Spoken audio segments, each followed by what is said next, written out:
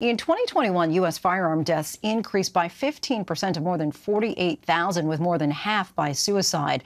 With meaningful gun legislation at a standstill now for decades, one company in Colorado says that updating a gun's technology could be the solution to decreasing accidental deaths and suicide. So, how does it work, and is there such a thing as a smart gun? Here's ABC's Mola Lenghi with tonight's Prime Focus. Guns have been used abused, beloved, Say hello to my little friend! and detested for hundreds of years. In that time, guns have evolved, becoming more advanced, in some instances safer, in others, deadlier. Still, today's handgun functions largely the same way as the first automatic handgun that rolled out in 1892. But a company near Boulder, Colorado thinks guns should be smarter than they were 100 years ago using today's technology. You feel like you've ended up with a safe gun? Absolutely, yes. We did a lot of research into where we place the sensor, where's the camera pointed, just so that they don't have to think about it. They just pick it up, their finger goes right to the sensor. There's no extra steps, no buttons, no codes, nothing else that they have to do. BioFire's smart guns are personalized guns using biometric technology, fingerprint, That's the fingerprint sensor.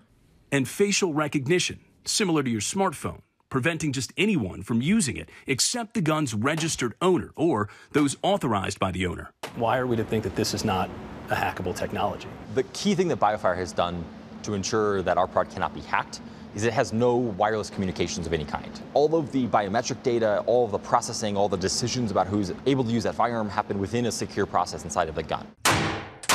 BioFire has no ability to access any of that information, and the only person who can ever change the settings or add a new user is the owner.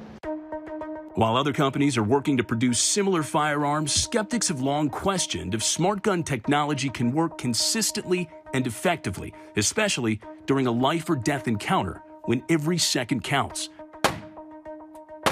We asked our ABC News military analyst Mick Mulroy, a firearms expert, to test the weapon. First impressions after firing the, the smart gun. I thought it worked really well, and I can see the application when it comes to both safety and still having the ability to put the gun in operation quickly.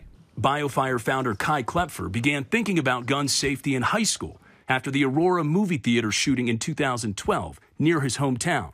When I think about like what are the challenges that America faces around guns, it really comes down to the 40-ish thousand people who are dying every single year from firearms. And so I think BioFire has a reasonably unique ability to address certain portions of that public health challenge. According to the CDC, overall U.S. firearm deaths jumped 15% in 2021 to around 48,000, with suicides accounting for nearly 26,000 of those. BioFire says their smart guns are taking aim at reducing those suicides, as well as many gun accidents, especially those involving children. Kloepfer says the benefit of a smart gun is that if it's lost, stolen, or just ends up in the wrong hands, it's essentially useless. Not once have I ever talked to a gun owner who wanted their kid to find their gun.